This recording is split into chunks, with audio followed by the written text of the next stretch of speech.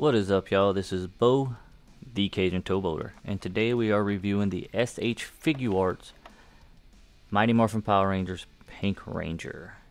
And she does look good.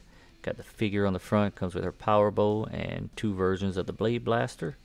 And also uh, some arrows and another accessory to make the whole uh, weapons coming together blaster, which I will show on the last figure review. So let's take a look at the box. Got the posing on the side, posing in the back, and Pink Ranger on the side. SH Figuarts. And these figures are good. I've been having them for about 10 years, and like I said, it took me a little bit to um, to find all of them and get them all.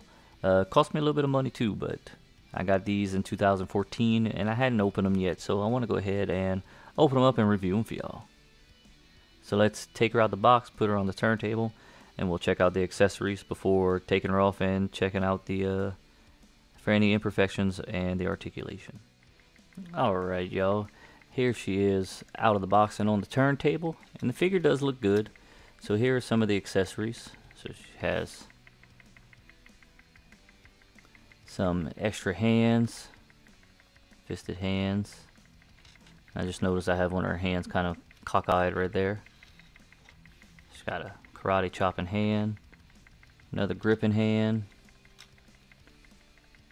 and she's got another gripping hand, and then she's got a hand with her arrow on it.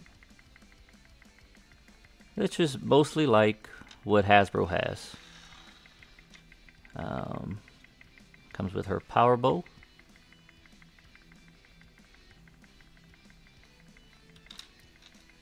Her blade blaster, the holster version.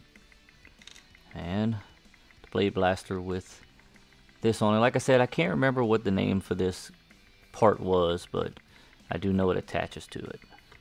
And they got it from like Titanus. So let's go ahead, that's all the accessories. Let's go ahead and get her off of the turntable and check out the articulation and for any imperfections. Alright y'all, here she is off the turntable and I do notice one little paint imperfection right here in the white of her. Uh, actually I scratched it off, it was just some paint right there, so I'm not going to count that.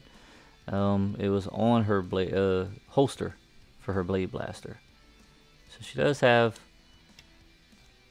butterfly joints and she can go up or down uh sorry T-pose she does have double jointed elbows as well um, I do like these arms compared to the lightning collection arms they are pretty good she does have um, she doesn't have a bicep swivel she has a torso crunch no ab crunch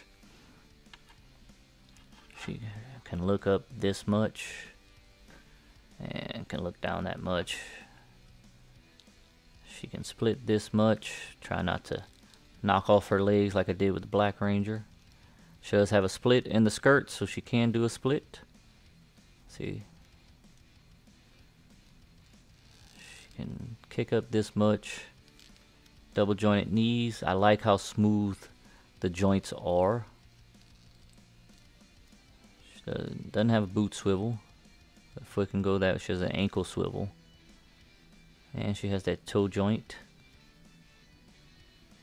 So yeah, this figure is a good figure as well, just like the Black Ranger. I do like it. Um, I also give it a uh, 10 out of 10. I had no problems with it. Um, that imperfection that I thought, it scratched off, so not an imperfection But this is a great figure. So if you collect SH Figuarts figures, um, let me know. Let me know what you like about them. Let me know what you don't like about them. Let me know which figures you collect. Power Rangers, Dragon Ball Z, I'm not sure what other figures they make. But uh, I'm pretty sure they make a lot of the anime ones. Let me know if you'd like to see them make more Ranger teams. If Hasbro actually has given them the rights to do that. To continue that.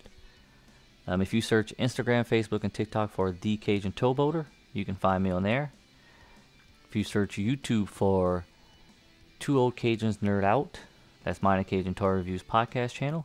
You can go ahead and give us a like and a listen on there. Um, let us know what you think. Let us know what you like to uh, hear us talk about. But other than that, I want to Thank y'all for watching. Thank y'all for subscribing. Just overall, thanks for everything. And as always, I will see y'all in the next one.